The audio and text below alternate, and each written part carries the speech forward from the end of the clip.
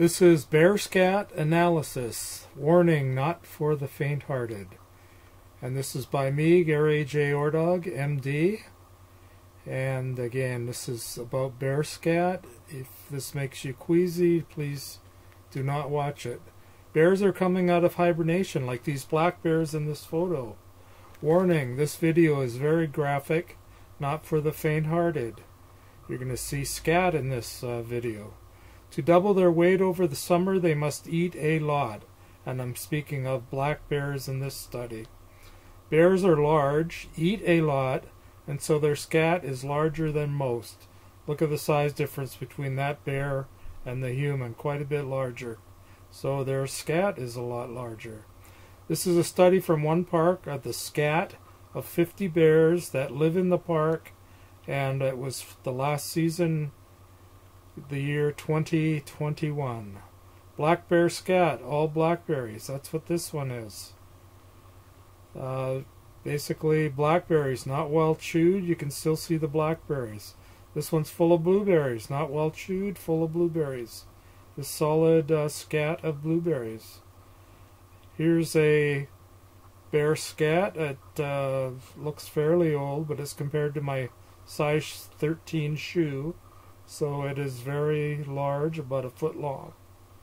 Here's a scat made out of blackberries and grain, so a little bit of a combination here. Uh, here's a scat made out of cherry pits and the fruit of the cherry, the meat of the cherry, uh, turns black in the scat.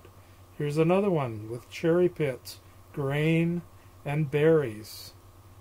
And uh, this one was fairly fresh. Here's another fresh one. This one is full of blueberries again. This not, not very well chewed, just chowed down and not chewed at all. Here, this one is from pumpkin. The bear ate a pumpkin, and uh, here it comes out. Sort of digested, but not really that well. Here's an old one made out of uh, blueberries. The bear ate almost exclusively blueberries when it uh, passed this scat. Uh, here's clumps of uh, meat, small animal products in this uh, scat, and it's spread about.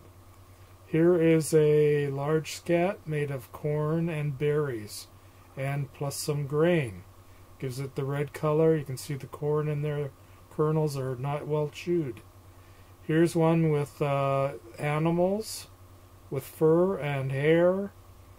Uh, this is um, well digested in this case. Here's more bear scat with animal products. Animal meat with fur has been partially digested and uh, forms the scat. Here, this was animal products with lots of fur, lots of white fur. So maybe a bunny rabbit, something like that, but uh, some animal that had a lot of fur. Uh, here's another one, older one, with uh, mainly blueberries, lots of blueberries, almost exclusively blueberries. Here's another one with animal meat and hair, uh, small animals, small animal parts, lots of uh, protein, and partially digested. Here's a uh, large one with corn, grain, and berries, giving it the red color, and the large corn kernels, not well chewed. Here's meat, hair, some whole grains in this one. And here's another one with uh, meat, hairs, and berries uh, in the scat of this uh, from this bear. Here's another one with the meat, hair, furs, and the and the white fur Again, maybe the uh, bunny rabbit or something with white fur. Okay, here's a bear trail with a scat. I've got the arrows pointing to two scats there, and the upper arrow pointing to the bear trail. Now, this uh, park, the area was closed because there were approximately 50 bears in the area, and uh, too many bears to uh, be safe, I assume, for people to wander the trails. This uh, large bear scat had meat, whole grain, and corns. It was over three feet long. Uh, very large. Okay, this one is full of huckleberries. So the, our huckleberries are red in color here, not blue, but red. That turns the scat red with a lot of unchewed berries still present.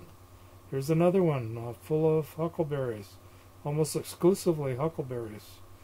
Uh, here's another one a little bit older, maybe a few days old, but exclusively huckleberries, uh, giving it the red tinge and the whole berry still visible in the scat. Here's a bed, bear trail with uh, corn scat right there with the arrow on the bottom pointing to the corn scat. Here's an older bear scat, um, probably from a week ago. And uh, here's another one, last week's bear scat. Uh, it's in the gravel, but is being washed away slowly. Uh, here's a fresh one, corn. This is very fresh corn, probably still steaming. And uh, here's another one that says some animal byproducts and a mixture with corn and grain. So the omnivorous animal, this bear, ate uh, animals and plants on this occasion. Here's another one with berries and corn. And the corn is not well chewed, it's still in kernel shape and form in the scat. Corn and whole grain. Here's an older one. And you can see it's very large. It's spread out over several feet. Uh, here's another corn one on the uh, on the sand on the beach at the park. This is an old one versus my size 13 shoe. Here's a new one, very fresh, still steaming, and composed mainly of corn. So there was a corn patch near the park, and obviously the bears were getting in there. Here's one made out of berries, meat, and grain versus my size 13 shoe, so uh, it's at least a foot long and six inches wide. Here's a mega fresh corn. Still steaming hot, I said. Uh, and also obviously very large compared to my uh, shoe. And here's one that's several feet in diameter, uh, made out of whole grain, that looks like the bear uh, slid its bottom side across the uh, sand here and smeared it. There's another one of grain. So you can see they eat various things here so far. Okay, the one on the left is corn. The one on the right is grain. The one on the left is fresher than the one on the right. Here's an older meat scat. And uh, here's another older meat scat. So after a while they'll uh, kill some of the grass there as they get washed away by the rain.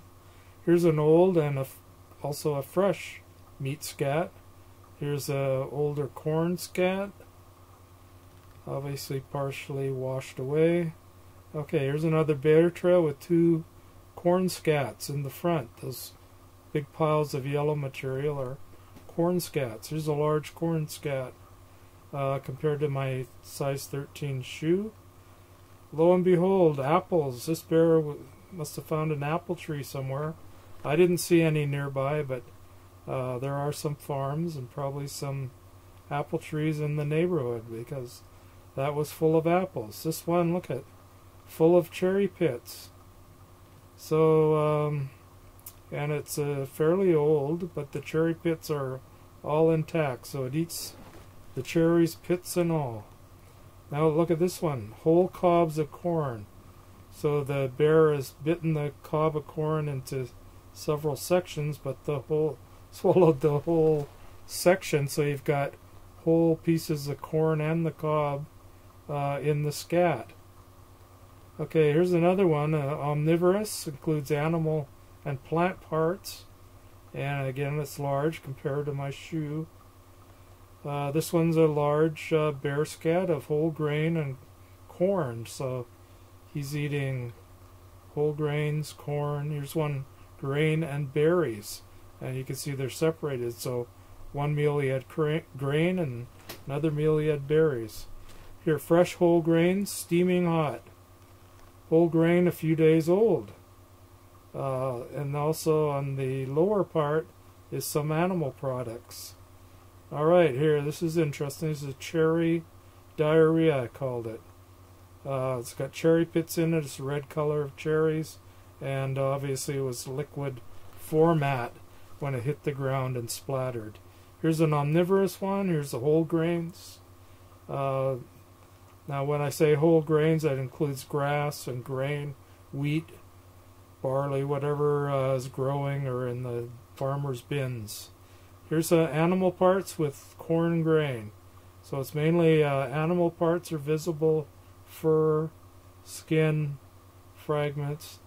Okay, here this uh, this cherries gave bear obviously diarrhea, uh, which may or may not be good. Corn around cherry. So the center part is cherries. There's corn around the outside. And here's uh, cherries, cherry pits, and some nuts. And uh, looks like maybe even some grain. Uh, here's a large solid one of grain and berries. Okay, and here's a pile of bear poo in the cranberry uh, here's bear scat in a cranberry field. So the bears would love the uh, cranberries. Obviously, they're berries. Ball movement, and uh, then and it's, it's, also in the uh, cranberry left patch, a so you don't want to little pick present here, behind for the farmer. potentially And you can see the dirty. Cranberries growing there, they're be. getting ripe. Um, and, you can see uh, the scat is. So don't very large. Pick them near this. Uh, this also gets in the water when they flood the fields, uh, etc. Okay, so move away from the uh, bear poop.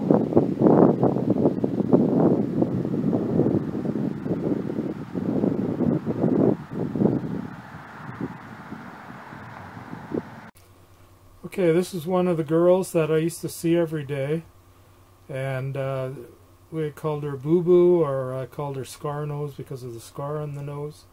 One time in the dark, I didn't see her, and she didn't see me, and I brushed alongside her, and she was very soft. Yes. The current study was all black bears, not any of these brown bears like this one. So this is all black bears like this one in the study. They were collected and analyzed from 50 black bears that inhabit the Kanaka Creek Park. And uh, the signs show that the area is closed, uh, probably because there's so many bears in the area to, for the safety of the tourists. From this study, bears are eating grains, berries, corn, small animals, and apples and fruit. And uh, in various amounts and in that order. So, grains being the most significant. And uh, usually they eat only one food at a time, probably because that is what's available. So, the scat will be mainly grain or mainly corn or mainly berries or sometimes meat. Uh, there's no signs that the park animals are eating trash. I found no trash in any of the scats. Um, but I would also like to say that they do not chew their food very well. So many of the uh, materials that they ate were still intact in the scat. So I did work for the Park Service previously. Here I am in 1972 working for the Maple Ridge Park Service. Uh, I, for many years, have studied uh, bear injuries, and that's also as a part of emergency medicine and trauma surgery that I was doing, as well as the forensic examination. So, thank you very much for your kind support, and I appreciate your help and your support uh, with my videos and my current research. Uh, and Captain Kirk approved of me, so how can you go wrong? Please subscribe to my free channel. Press on my caricature below. And thank you very much and have a good life.